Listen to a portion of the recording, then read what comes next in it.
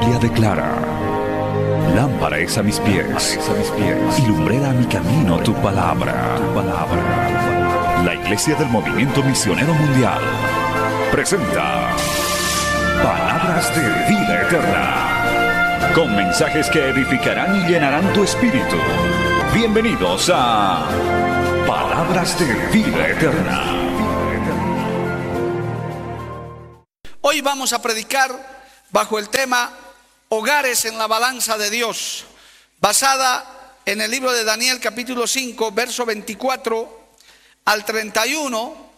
Si lo tiene, diga amén, amado hermano. Eso es, la palabra del Señor dice de esta manera, verso 24, Daniel 5. Entonces de su presencia fue enviada la mano que trazó esta escritura y la escritura que trazó es Mene, Mene, Tekel, Uparsin.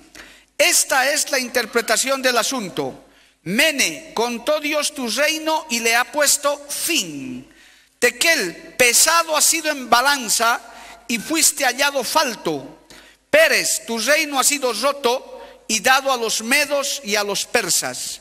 Entonces mandó Belsasar vestir a Daniel de púrpura y poner en su cuello un collar de oro y proclamar que él era el tercer señor del reino. La misma noche fue muerto Belsasar, rey de los caldeos, y Darío de Media tomó el reino siendo de 62 años. Palabra fiel y digna del Señor. Vamos a orar. Padre Santo, te damos gracias en este día de la familia.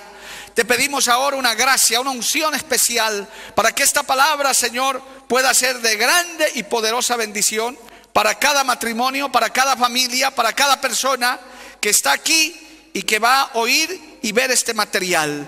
En el nombre de Jesús es enviada, Señor. Y por tu buen Espíritu Santo llegará a vidas, a corazones, a lugares y será grande el fruto con el que vuelva. Porque tu palabra no vuelve vacía. Lo declaramos en el nombre de Jesús. Amén. Y amén. Tome asiento, hermano, dando gloria al Señor. Aleluya. Muy bien, muy atentos a la palabra de Dios. Hoy, hermano, vamos a subir a la balanza del Señor porque este texto le ha debido llamar la atención a muchos. Pesado has sido en balanza y fuiste hallado falto. Ahora usted dirá, ¿será que estaba tan flaco el rey Belsasar? Bueno, aquí hay que comparar lo espiritual con lo natural, amados hermanos, ya que es distinto y contradictorio el mundo y el hombre natural y el mundo y el hombre espiritual. ¿Cuántos decimos amén, amado hermano? Cuando se habla de de peso, de crecimiento, espiritualmente, hermanos, siempre queremos tener un crecimiento y una madurez, gloria al nombre de Jesús.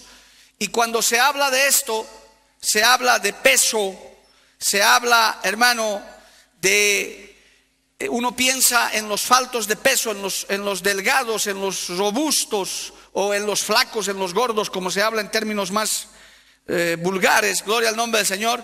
Sin embargo, hermano, la Biblia habla, se acuerdo a este y otros textos que vamos a leer, que el Señor pesa los espíritus. Él tiene balanzas para pesar los espíritus. Alabado el nombre de Jesús. Enseguida le voy a mostrar eso. Pero en el mundo, hermano, esto es contradictorio con lo espiritual. Es decir, lo, natural choca con lo espiritual. Por ejemplo, en el mundo natural la gente normalmente no quiere envejecer, no quieren, no quieren hacerse viejos, no quieren hacerse ancianos, alabado el nombre de Jesús, porque naturalmente el, que envejece, hermano, humanamente, oye, oye, pierde la capacidad de oír, sus ojos se debilitan, gloria al nombre del Señor, ya no puede articular inclusive hasta bien las palabras, pero en el reino espiritual es diferente. A medida que uno va creciendo, y en el buen sentido es más viejo espiritualmente, se vuelve más bien con el oído espiritual más afinado, una visión más fina, gloria al nombre de Jesús, habla mejor la palabra, mientras que en el mundo natural es todo lo contrario. Por eso es que las leyes espirituales están en contra de las leyes naturales. Los cristianos queremos ser ancianos en Cristo. ¿Cuántos dicen amén, amado hermano?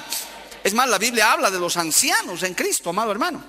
En esta iglesia hay ancianos hasta de 30 años que son crecidos en el Señor, aleluya, que a diferencia del mundo natural donde se desgasta este cuerpo, donde los ancianos a veces no tienen mucha fuerza, donde los ancianos físicos a veces ya no pueden ni, ni siquiera mirar bien, en el campo espiritual es totalmente diferente. Alabado el nombre de Jesús. Mientras más anciano en el Señor, más entrenado, más poderoso, más lleno de Dios, con más experiencia, alabado el nombre de Jesús, y el Señor los usa con mayor facilidad. ¿Cuántos dicen amén, amado hermano?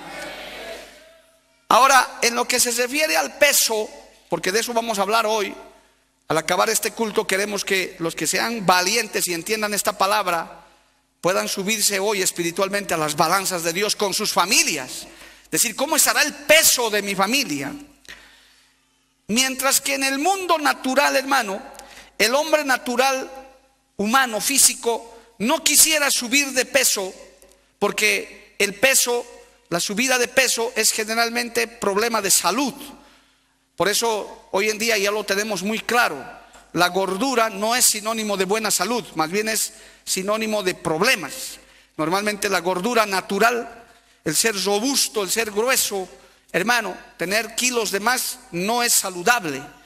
En cambio, en el mundo espiritual, amado hermano, permítame decirle así, Dios busca hijos pesados, gloria al nombre de Jesús, pesos completos, que no les falte nada, que, que tengan una musculatura espiritual tremenda, alabado el nombre de Jesús.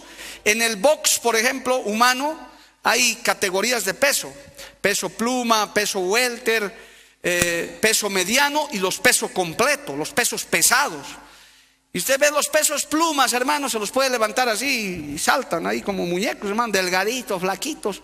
Pero a ver, haga eso con un peso pesado, esos pesos pesados, 120 kilos, 140 kilos, como si nada.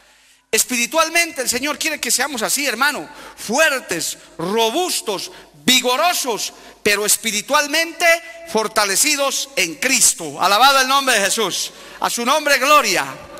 Así que si usted es robusto, gordito espiritualmente, qué bueno. Es sinónimo de buena salud espiritual.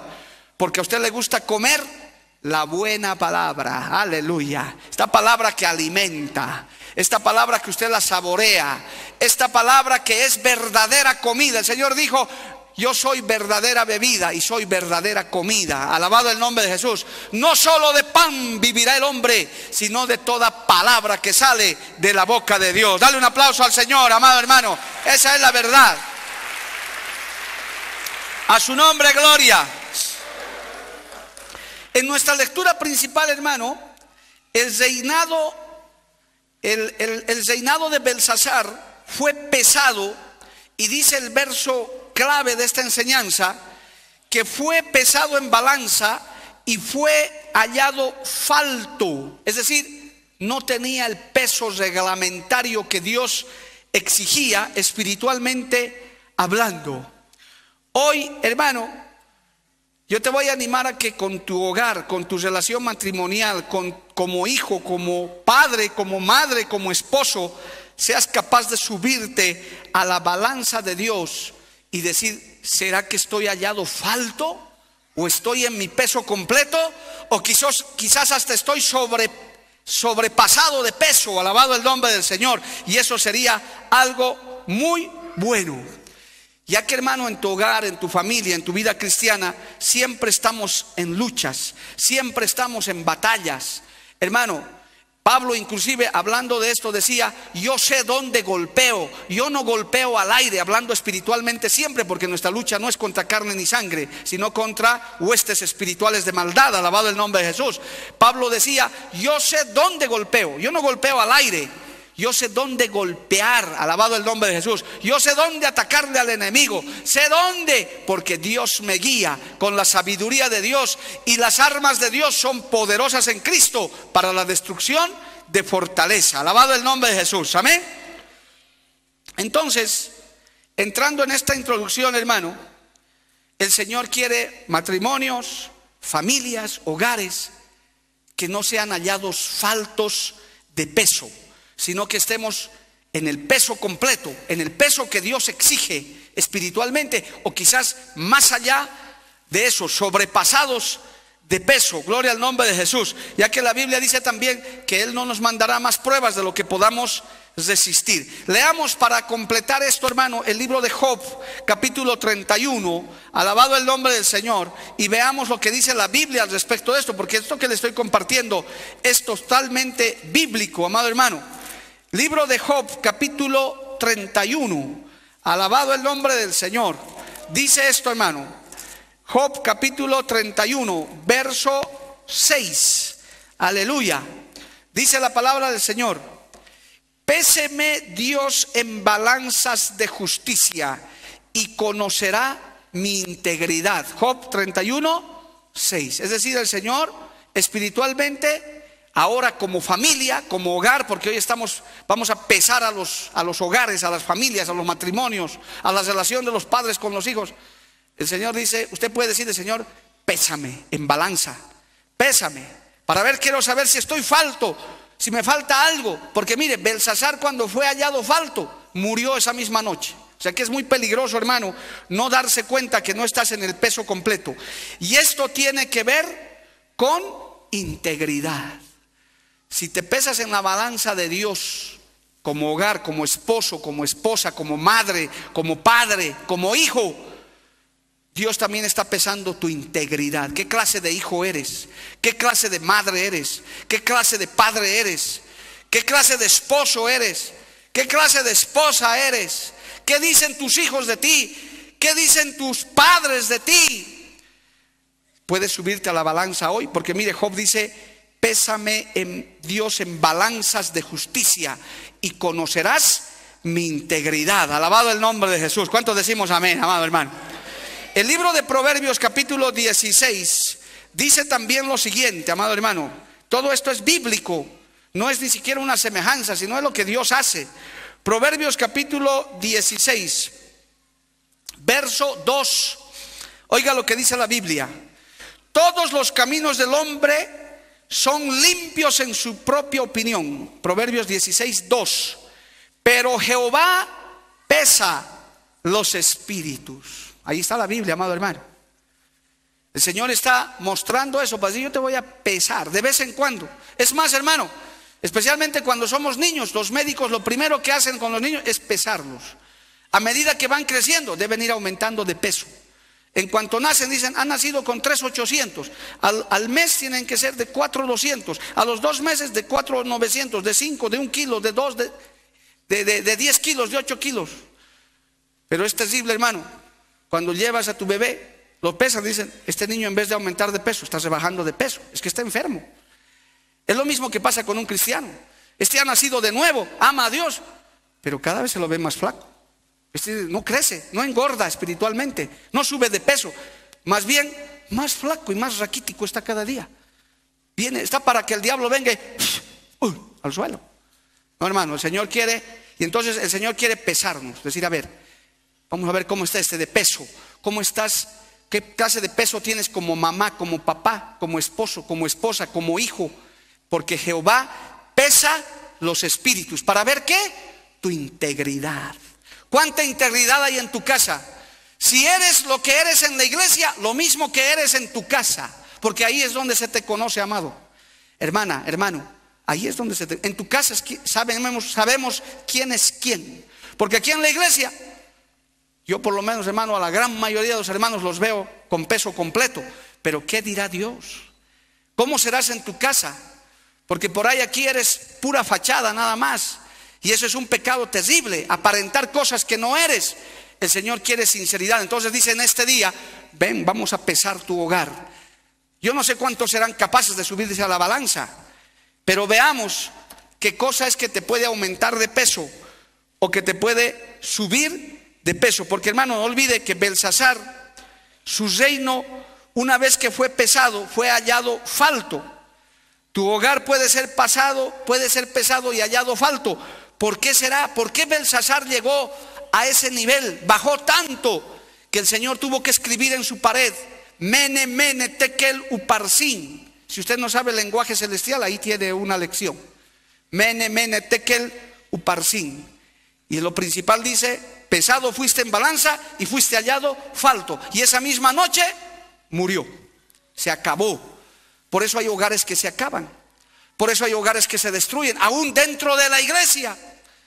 Porque se descuidan, porque no suben de peso, se dan cuenta que están flacos espiritualmente.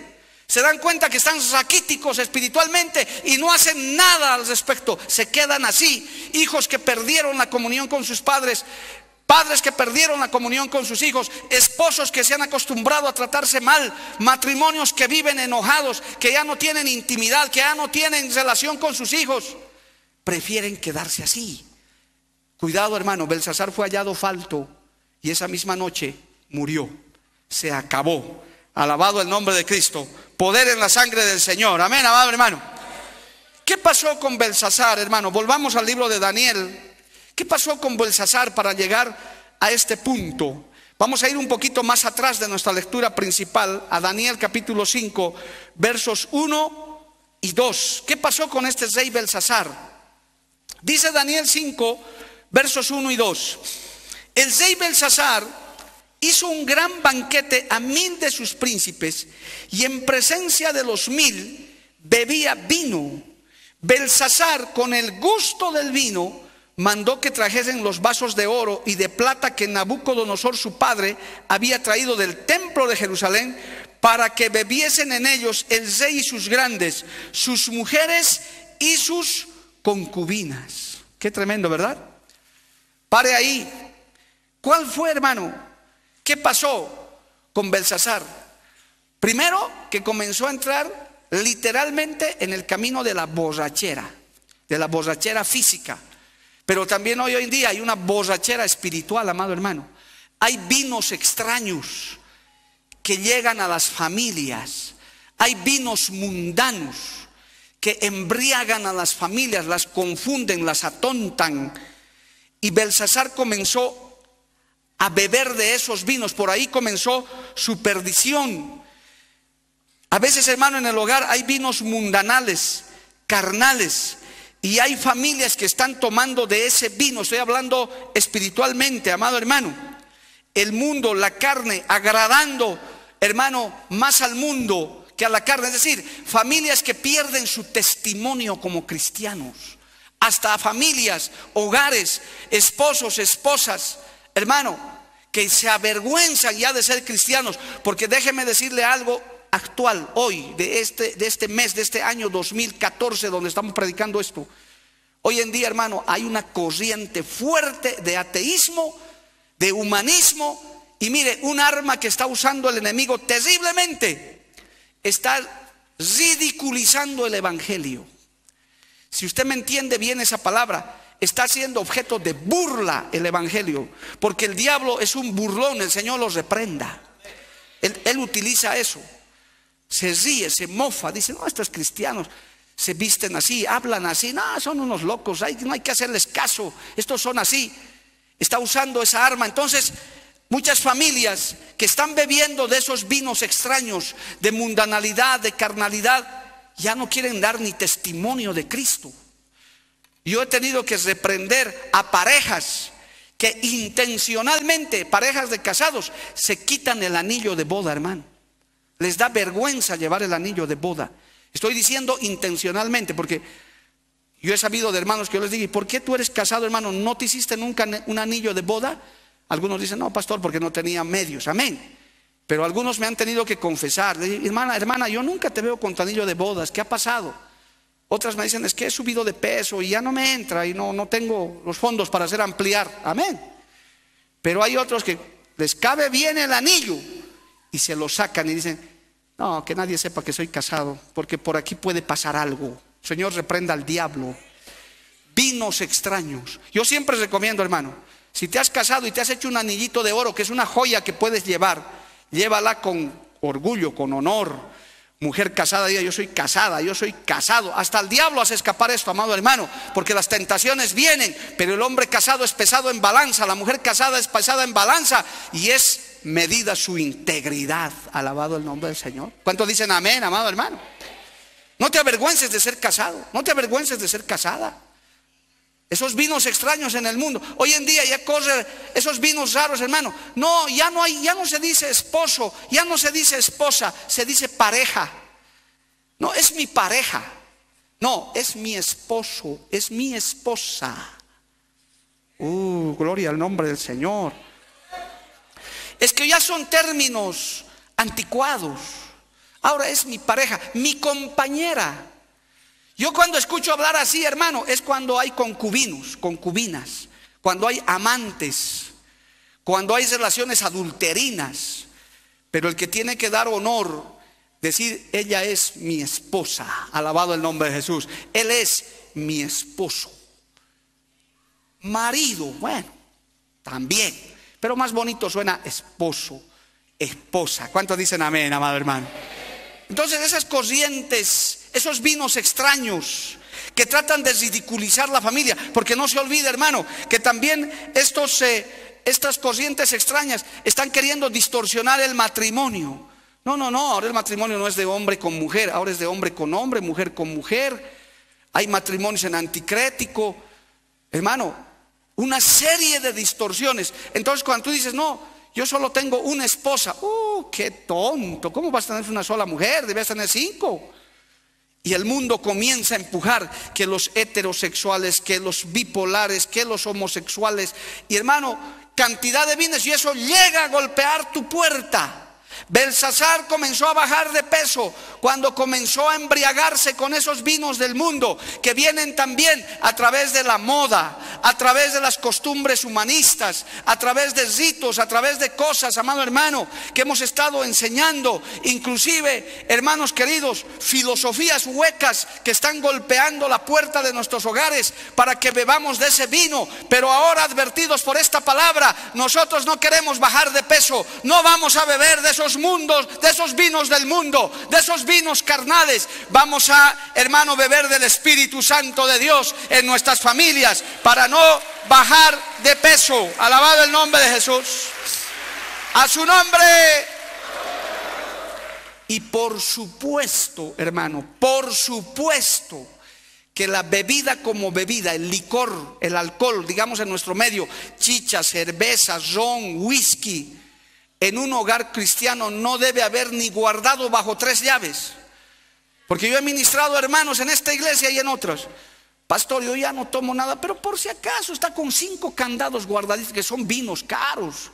Son whiskies de 200 dólares que me regalaban en la oficina. ¿Y para qué guardas eso? Es que me da pena romperlo, es mucha plata. Si no lo rompes tú, lo rompo yo, les dije a alguno déjamelos en mis manos y en tu delante con mi martillo les voy a dar. ¿Para qué guardas esas bebidas? Hermano, cuidado, cuidado. Si alguno se está guardando bebidas alcohólicas, de ninguna manera, dice la Biblia, ningún borracho entrará en el reino de los cielos. Un poco de levadura leuda toda la masa, amado hermano. En nuestro país es muy peligroso que un cristiano, hasta por algunos dicen, no, pero unito un poquito para que el chancho termine de morir. No, hermano, que muera el chancho como tiene que morir. Gloria al nombre de Jesús. Pero usted no provoque, no se tiente. Tal vez algunos digan, no, pastor, eso no hace nada. La Biblia dice, no os embriaguéis, no seáis muy dados al vino. No, Señor. Es preferible no tentar, es preferible no debilitarnos. Y en un verdadero hogar cristiano tampoco, literalmente, debe haber vino o bebidas alcohólicas. Los que quieran decir amén, digan. Y los que quieran decir ay, ay, digan. Pero hermano, esa es la verdad. Para que nuestros hogares no bajen de peso. ¿Cuántos dicen amén, amado hermano? A su nombre, gloria. Es que la borrachera en nuestro país, hermano, tiene mil consecuencias. ¿Qué digo mil? Más.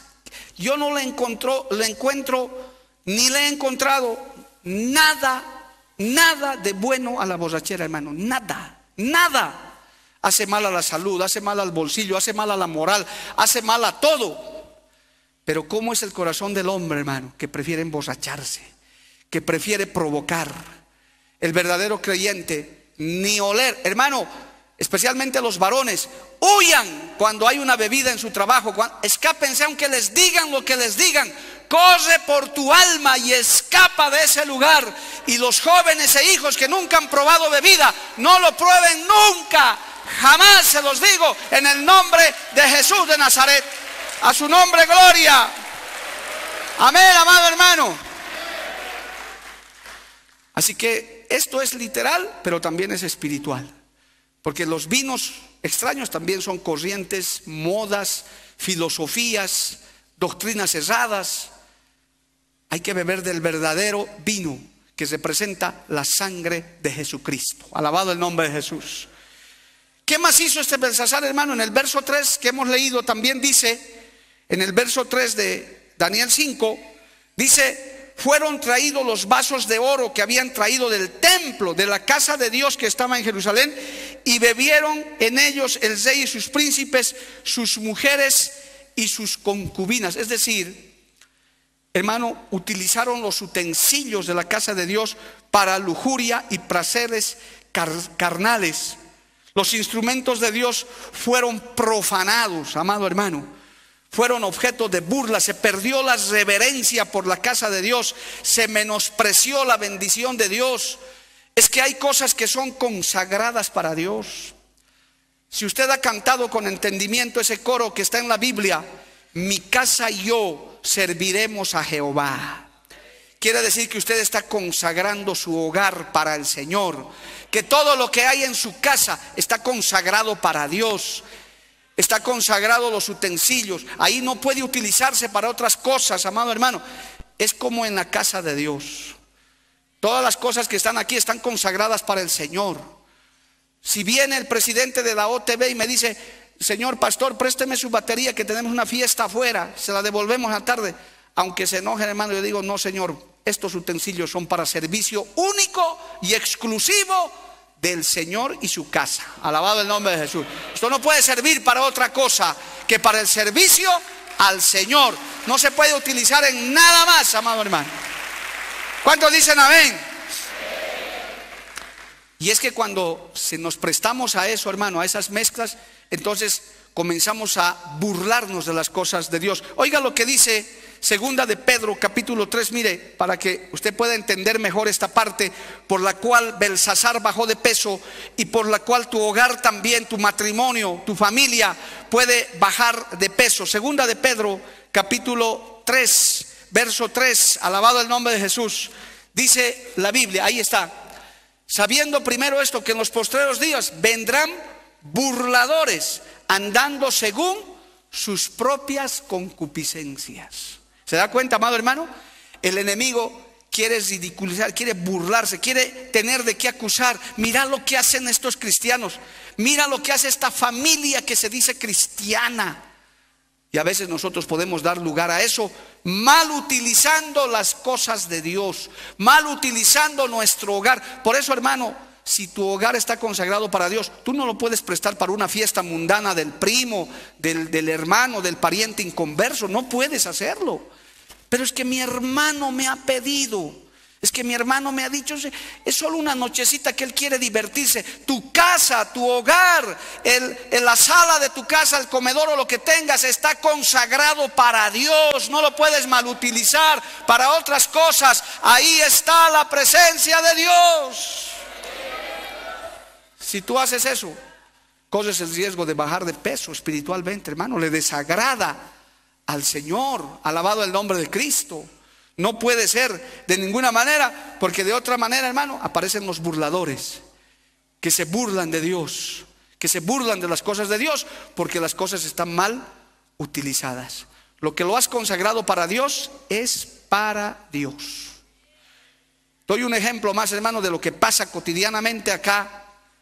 Hay hermanos que en su ignorancia dicen, pastor, yo manejo trufi, manejo transporte público, y en, carnavales todos nos hacen poner en fila y nos hacen hallar nuestros carros. ¿Y tú por qué no escapas? No es que es obligatorio, no puede ser obligatorio, hermano. Yo me acuerdo haber orado por tu auto. Esa movilidad que es tu herramienta de trabajo está consagrada para Dios. Es un utensilio de Dios. Tú no lo puedes hacer ahora poner en manos de Baal, que un sacerdote de Baal venga y lo challe, de ninguna manera. Así te tengan que botar de la línea, así tengas que quedarte sin trabajo. Honra a Jehová y dale testimonio al mundo de que tú eres un hijo de Dios, amado hermano, que tú no puedes estar consagrando las cosas de Dios para otros. ¿Cuántos levantan su mano y la alaban a Dios, hermano? Y en el hogar a veces eso es muy tremendo, amado hermano. Son realidades que sin darnos cuenta Parece que estamos cumpliendo nuestros deberes como cristianos, pero caemos, hermano, en religiosidad, en idolatría, en poner a Dios en segundo lugar. ¿Cuántas, cuántos matrimonios, hermano, donde uno de los uno de los esposos es inconverso, ha terminado ganando la o el inconverso? Ha terminado ganando, hermano, se ha terminado llevándoselo al mundo. Hermanos, aquí hemos conocido en esta iglesia y debe haber en otras. ¿Por qué ya no vienes, hermana? No, es que mi esposo dice que si no voy a bailar con él, que si no voy a farsear con él, pues eh, se va a divorciar de mí. Así que tengo que ir con él. Y soy una borracha como él, soy una borracha, soy una perdida como él, porque amo a mi esposo. Qué terrible, hermano. Qué tremendo. Y hay gente inconversa que sabe manipular eso. O tu Dios o yo. Hermano, la respuesta es clarísima. Ahora usted me dirá, pastor, no voy a destruir mi matrimonio. No se va a destruir tu matrimonio. El Señor te va a dar la sabiduría, la fortaleza para que se conviertan ellos a nosotros y no nosotros a ellos. Alabado el nombre de Jesús. Decirles, yo estoy en lo bueno, yo estoy en lo correcto. Tú tienes que venir a Jesucristo. ¿Cuántos dicen amén, amado hermano? Jamás podríamos predicar que se destruyan los hogares, pero la Biblia, hermano, advierte que por causa de Cristo, en determinado momento hay esa lucha. Padres contra hijos, hijos contra padres, esposos contra esposas. Hay una lucha santa, hay una lucha espiritual, no es a golpes, no es a la fuerza, es una lucha espiritual. No es para que lo maltrates a tu esposo inconverso, a tu esposa inconversa. Quiero leerles una famosa porción de Primera de Corintios 7, por favor vaya allí un instante. Es toda una cátedra sobre matrimonio, sobre familia. Primera de Corintios capítulo 7, que tiene un título muy especial, Problemas del matrimonio. Gloria al nombre del Señor. Mira hermano, dice en el verso 10, Primera de Corintios capítulo 7, verso 10, hablando de esto, pero los que están unidos en matrimonio, Mando no yo, sino el Señor, que la mujer no se separe del marido. Y si se separa, quédese sin casar o reconcíliese con su marido y que el marido no abandone a su mujer. Y a los demás yo digo, no el Señor, si algún hermano tiene mujer que no sea creyente, y ella consiente en vivir con él, no la abandone.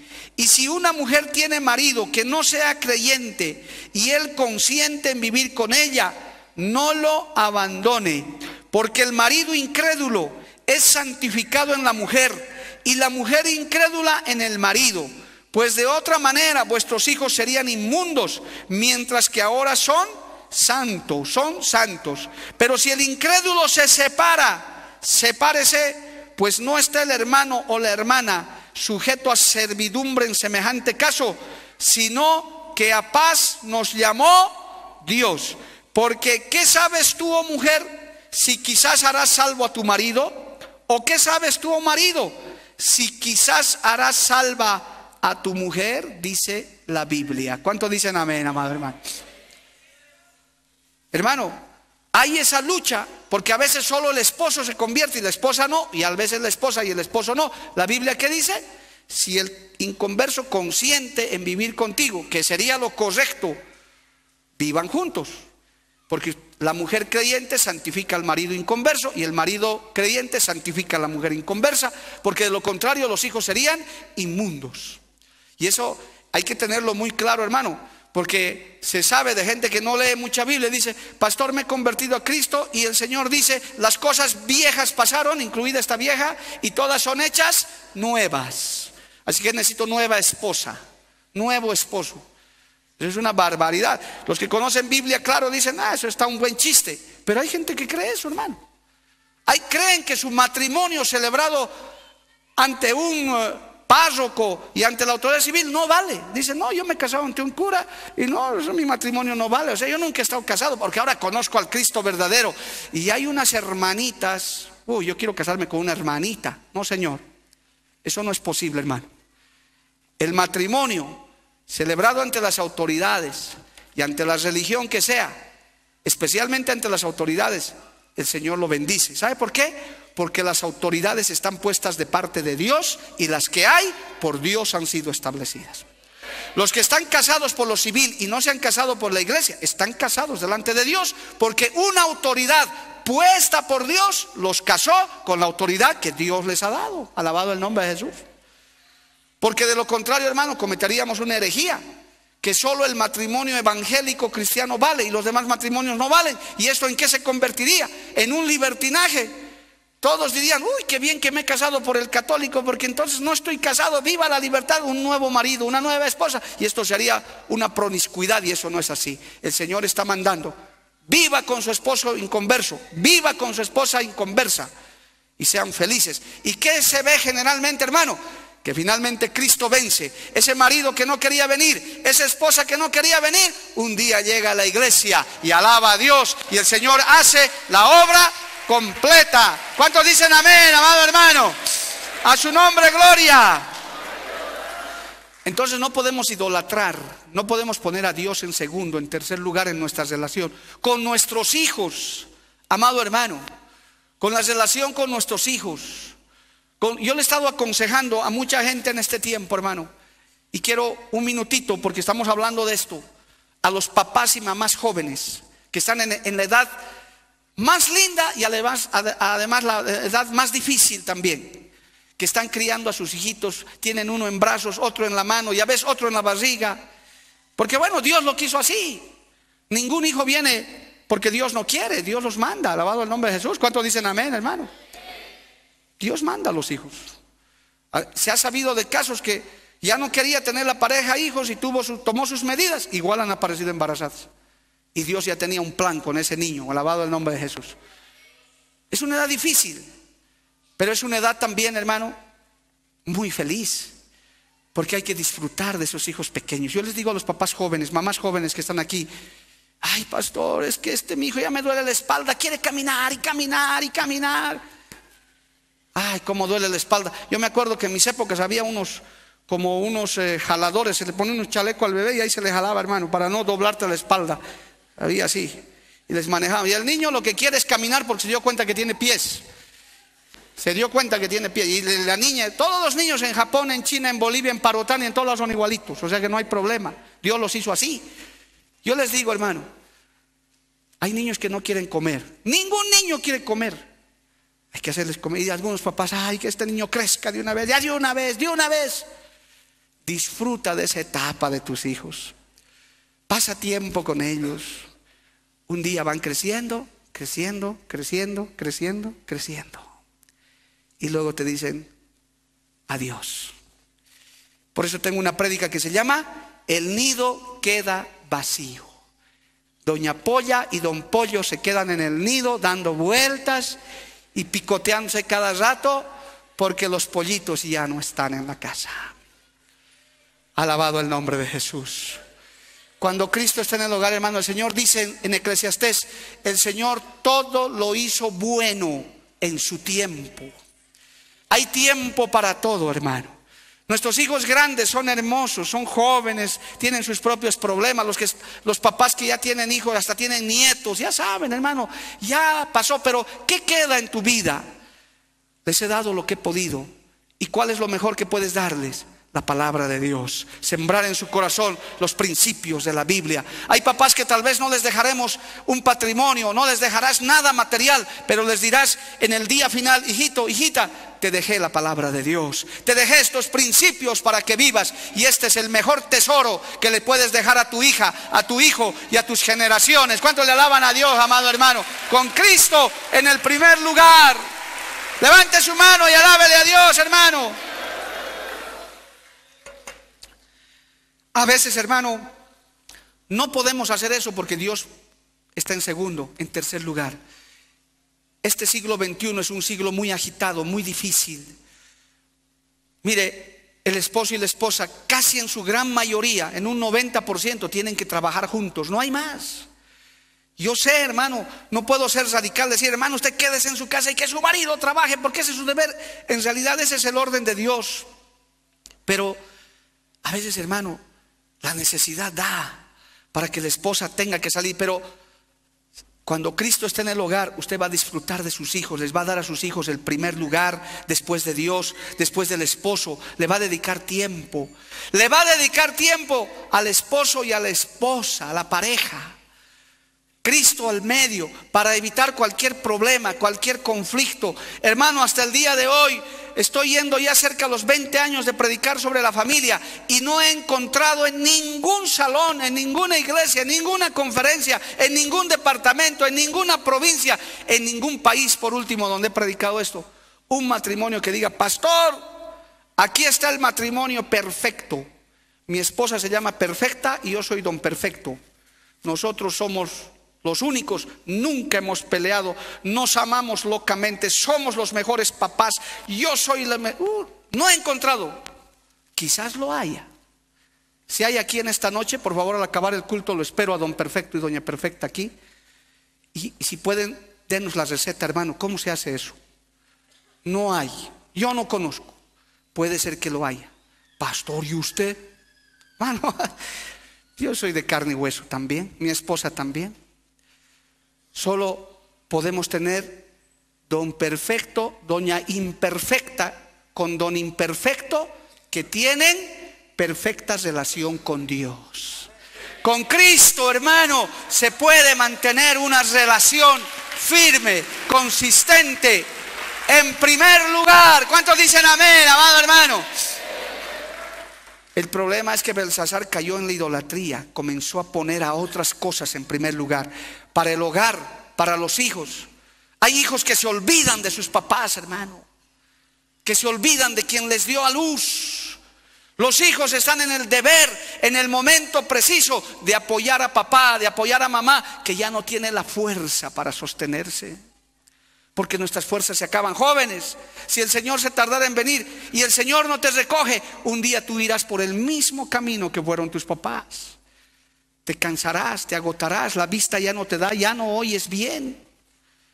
Y el Hijo, dice la Biblia, el mandamiento con promesa, honra a tu padre y a tu madre y tendrás larga vida sobre la tierra y todo te irá bien. Alabado el nombre de Jesús. ¿Cuántos dicen amén, amado hermano? Cuando Cristo está en primer lugar, uno honra al papá, uno honra a la mamá, les ayudan, los atienden. Un día se nos acabará las fuerzas. Oh, hermano, yo recuerdo tantas cosas. Yo recuerdo, hermano, cuando yo aprendí esta palabra y Dios ministró mi vida y tuve a mi papá, a mi mamá, ya de mayores, Tuve a mi madre como mi oveja aquí en la iglesia. Son recuerdos imborrables, amado hermano, de Dios haberme dado el privilegio de poder pastorear a mi mamá. Y mi mamá con esa sabiduría de Dios no me decía en la iglesia, no me decía hijo, no me decía nada, me decía, usted es mi pastor, yo lo respeto como mi pastor. Salimos de la iglesia y usted es mi hijito, el pequeñito, pero en la iglesia usted es mi pastor. Y me daba con todo respeto un abrazo mi pastor. Qué lindo, hermano. Hijo, hija, disfruta si tienes a tu papá y a tu mamá al lado. Tú puedes ver gente mayor, hermano, que extrañamos a papá. Yo no sé si les pasa a las personas mayores aquí. A veces uno extraña a papá, mamá. Yo quisiera que todavía mi papá, aunque sea de 80 años, 90 años, esté conmigo. Me hubiera gustado que me vea predicar. Mi papá no me pudo ver predicando. Mamá sí. Por eso, hijo, hija, no pongas en segundo o tercer lugar a Dios. Con Dios el Señor te refresca ese sentimiento, te hace dar un abrazo a papá, te hace dar un abrazo a mamá en vida cuando están aquí en la tierra. En vez de darle colerones, malos ratos, ¿por qué no le das cariño? ¿Por qué no le das amor? Esposo, esposa, en vez de estar peleando noche y día como perro y gato, ¿Por qué no viven con Cristo en primer lugar, entendiéndose, amándose? Y cuando suban a la balanza no van a estar con falto de peso, porque eso es lo que quiere el Señor del matrimonio, que guardes esos conceptos, que guarden estos mandamientos para que tu peso sea el correcto, tu integridad como esposo, como papá, como hijo, como hija, sean correctos. Alabado el nombre de Jesús. ¿Cuántos dicen amén, amado hermano? Son cosas que hay que valorarlas y no caer en la idolatría de los demás. A su nombre, gloria. Amén, amado hermano. Belsasar fue yendo, hermano, en este camino de bajada de peso, tomando vinos extraños, embriagándose, profanando, burlándose de Dios y finalmente poniendo a Dios en segundo y en tercer lugar, cayendo en la idolatría. En este tiempo, hermano, eso es lo que está sucediendo. Muchos matrimonios están poniendo el trabajo, el negocio, la actividad. Sí, hay que trabajar, hay que hacer. Pero hermano, dale el primer lugar a Dios. Y yo quiero reiterarles el día de hoy, para los que no lo sabían y los que no se acordaban, el orden que Dios nos ha enseñado para que no caigas en idolatría, ni como esposa, ni como esposo, ni como hijo, ni como padre, ni como nada. Primero está Dios. ¿Cuántos dicen amén? Amarás al Señor tu Dios sobre todas las cosas, con toda tu alma, con toda tu mente y con todo tu corazón. Antes de Dios no hay nadie. Para los casados, en segundo lugar está tu esposa o tu esposo. En segundo lugar, el compañero, la compañera de tu vida. Yo digo, hermano, y me hago responsable por lo que digo, lo deseable es que el varón, la mujer nos casáramos una sola vez en la vida y para siempre. Eso es el plan de Dios. Es decir, aunque nuestra pareja muera un día, porque puede pasar, decir, ya me casé, Tuve a mi esposo, tuve a mi esposa. Ahora me dedico a Dios, que Dios nos ayude. Sería lo deseable, sería lo mejor. Porque tal vez Dios lo diseñó así. Ahora, los viudos, las viudas, si se casan, no pecan tampoco. Yo he casado una pareja de una hermana que tenía sesenta y tantos años con un caballero de setenta y tantos. Los dos viudos felices han venido con sus ojitos brillando, totalmente enamorados. ¿Qué le parece, hermano? Lindo. Pastor, estamos enamorados, queremos casarnos. viejitos de casi 70, viudos, cásense, hermano. Venga. Hemos hecho una ceremonia privada, se han dado un piquito, casados. Listo. Y que sean felices. Pueden, no hay pecado, hermano, se pueden casar. Pero no sé, que Dios nos ayude. Ahí lo voy a dejar porque, bueno, no quisiera un día yo recoger esas palabras. Pastor, de 90 años usted quiere casarse todavía. Bueno, no. Que Dios nos guarde, hermano. Aleluya. El esposo y la esposa en segundo lugar. En tercer lugar, los hijos y tus hijas. Cuidado, hermanos, que pongas a tus hijos por sobre tu esposo y tu esposa. Porque eso no es correcto. Nuestros hijos están con nosotros durante un tiempo, pero un día tendrán que irse a hacer su propia vida, como usted y como yo nos hemos ido un día de casa. No porque no amamos a papá ni mamá, sino porque es parte de la vida. Dejará el hombre a su padre y a su madre y se unirá a su mujer y será una sola carne. Génesis capítulo 2, verso. Ahí está en la Biblia, amado hermano.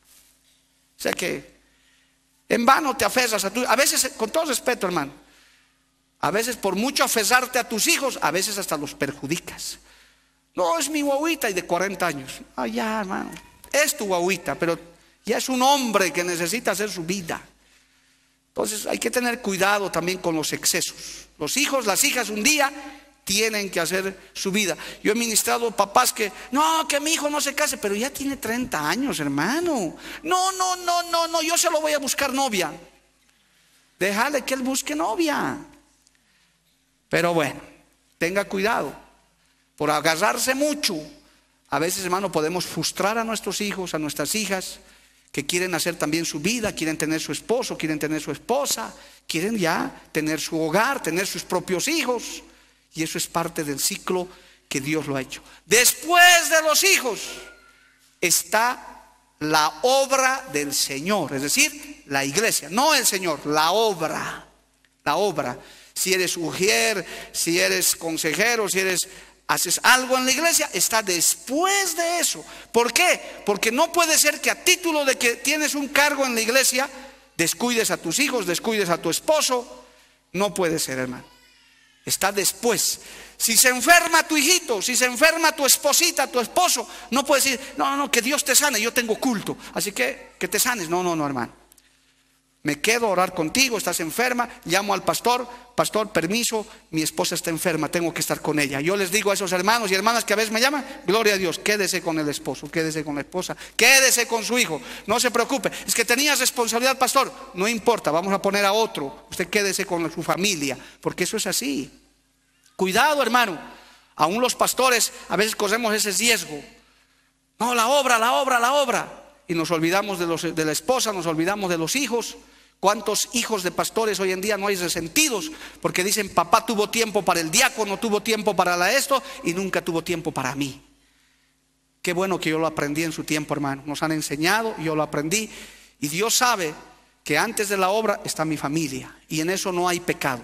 Alguna vez yo pido permiso, hasta tomo un tiempo de descanso con mi familia, porque necesito atender a mi familia, necesito atender a mi esposa. Y eso no es pecado. Ese es el orden. Ahí está Dios, ahí está tu esposa, ahí está tu esposo, ahí están tus hijos, ahí está la obra. Y después de eso puedes ponerle lo que quieras, tu trabajo, tu negocio, tu estudio. Eh, no sé qué cosas más harás, hermano, que con tal que no sean pecado. Pone la lista que quieras, pero verás cómo vas a tener una familia de peso completo sin idolatría, sin excesos, sin embriagueces de vinos extraños, sin excesos de ningún tipo, poniendo cada lugar en su, en su lugar, porque Dios es un Dios de orden. Dale un aplauso al Señor, amado hermano. A su nombre sea la gloria. Ahora que tienes estos principios, hermano, ¿serías capaz de pesarte en la balanza de Dios? ¿Será que eres un esposo de peso?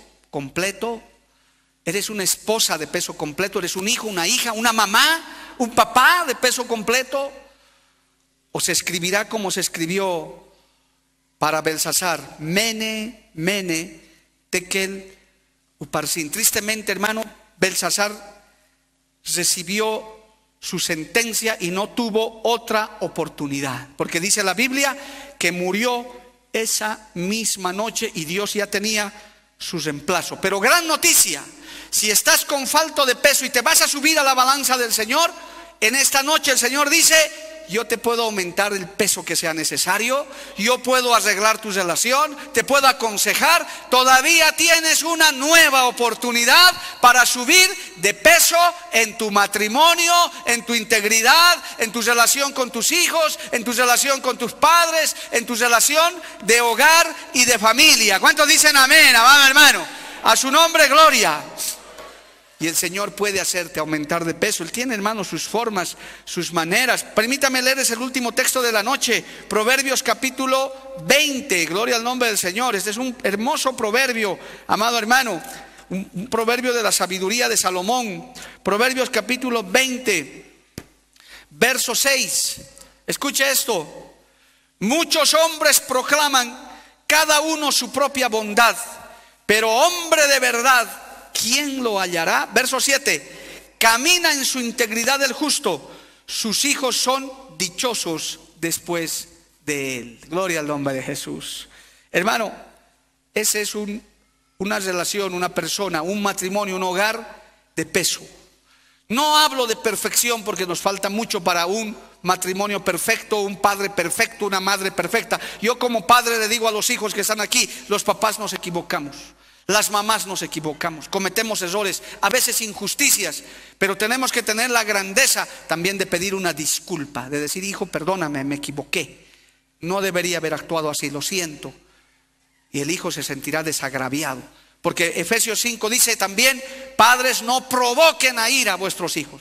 Es decir, tiene que haber equilibrio, tiene que haber el peso justo. Papá es papá, mamá es mamá, merecen honra, pero también los padres tienen que tener a sus hijos en sujeción de Dios, en autoridad. Aún, hermano, porque el tiempo no da, este del hogar es tanto, aún hay que saber hasta disciplinar a nuestros hijos, hasta corregirlos. El Señor enseña cómo se debe corregir a, un hijo, a una hija, de acuerdo a la edad. Eso no es solamente agarrar a lapos, a puñetes, a patadas. Hay padres que han fallado en eso. Los insultan.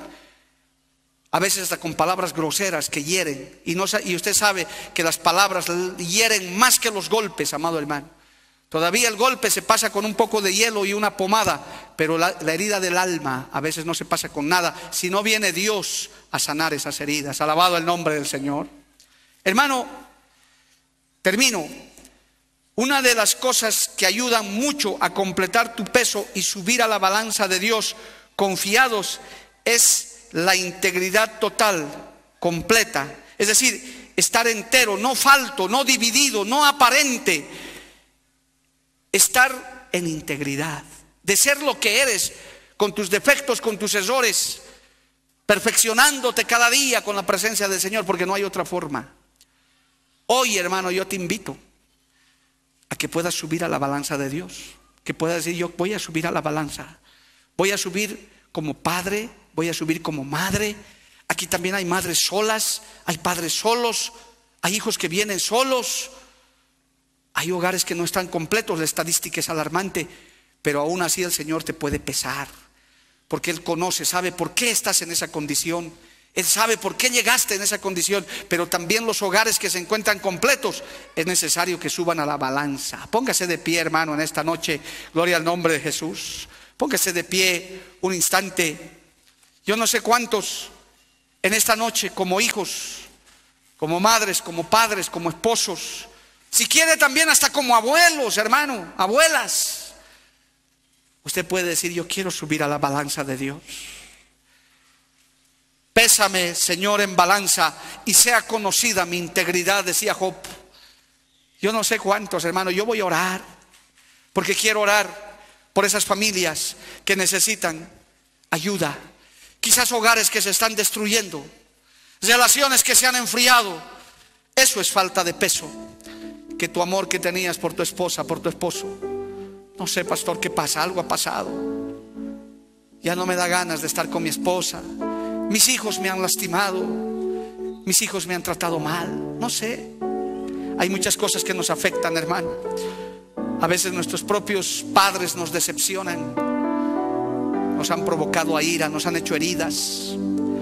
Tal vez hay esposas resentidas y dicen, no, yo no puedo perdonar lo que me han hecho. O esposos que dicen, no, no puedo.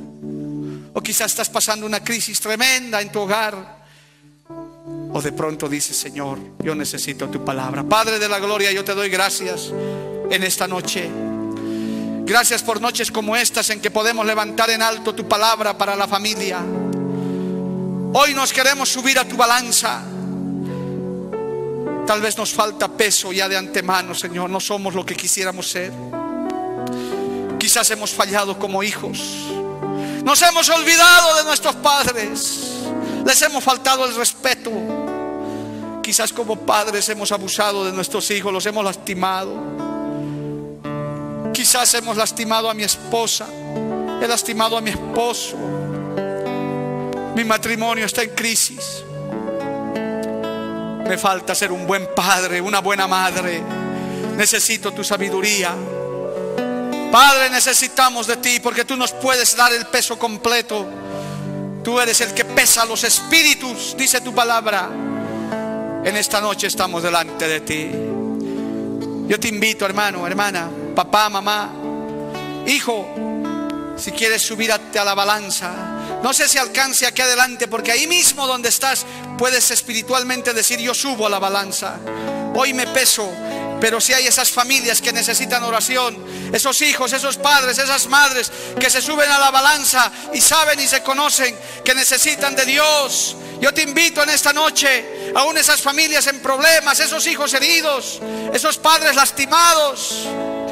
Mientras cantamos este coro, yo te invito a que vengas a las balanzas de Dios, no para ser juzgado ni condenado como Belsasar, sino para ser fortalecido, restaurado, levantado, porque en Cristo hay una nueva oportunidad, siempre hay una nueva oportunidad mientras estemos en esta tierra. Mientras cantamos este coro, yo te invito, hermano.